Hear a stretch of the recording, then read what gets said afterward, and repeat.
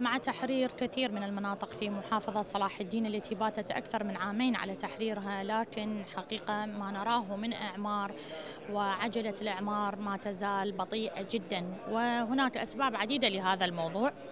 آه، لو نتناول مثلا المعني بإعمار هذه المناطق مثلا صندوق الإعمار.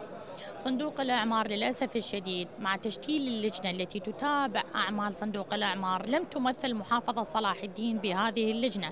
ومع اعتراضنا داخل قبة آه، البرلمان آه، أثناء الجلسة تم اعتراض من قبلي على آه، الآلية اللي تم اختيار بها عدد النواب الذين يمثلون المناطق المنكوبة لم نجد والمناطق المحررة لم نجد تمثيل لمحافظة صلاح الدين ولا تمثيل للجنة الخدمات اليوم. إحنا لجنة الخدمات إحنا المعنيين بعملية متابعة الإعمار يعني لجنة الخدمات والإعمار.